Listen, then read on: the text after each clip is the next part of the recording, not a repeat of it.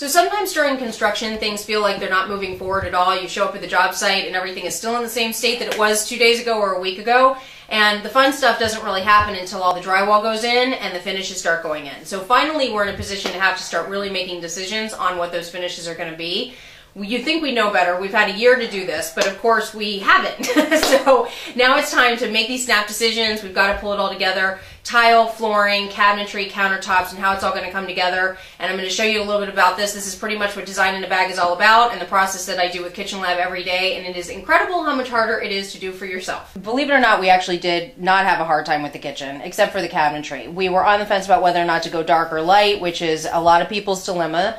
Uh, but we ended up going with this sort of gray brown, charcoal brown gray color on oak. Uh, we're not doing any wall cabinets. So we're going to be running this terracotta tile all the way to the ceiling. We're going to be doing a dramatic Calacatta countertop. Not sure yet if we're going to go this dark with the veining or not, and we'll take you to the slab yard to help us pick our slabs in a future episode.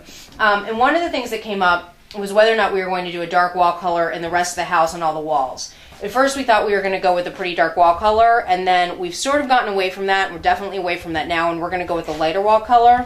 This is Chelsea Gray um, from Benjamin Moore, and this is Gray Owl. The Gray Owl may have a little bit too much blue in it, so we're going to do a few more swatches to test, but uh, this can give you a, a much better idea of what it looks like when they're on large format swatches like this. And these are designed in a Bag swatches. You, as you can see, it's much easier to see a large format paint swatch than on these little books or on the cards over here. So you probably saw a peek of a turquoise tile in one of the earlier scenes. Well, this is the same pattern, but in a new colorway. A lot of the tiles that we work with come in so many different tile options and color options and shapes that you have to have samples of what colors you want and the size that you want them in in order to know how it works. This is a perfect example. We debated about doing the turquoise, but I was a little scared to do something so permanent on the first floor bathroom, which is our, also our powder room floor, I wanted to do something that was a little more timeless.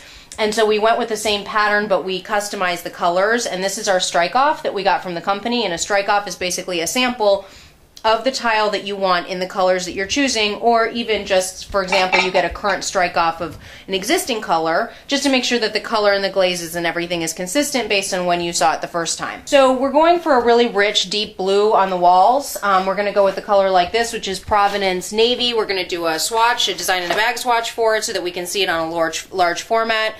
For the master bath, uh, the marble floor is going to be this color. It's going to be in a herringbone pattern. We're going to show you that next week um, so that you can see what that actually lays out like and what it looks like and what size it is. Um, and we're thinking about going with this darker charcoal that we wanted to do in the rest of the house, but now we're thinking about doing just in the bathroom.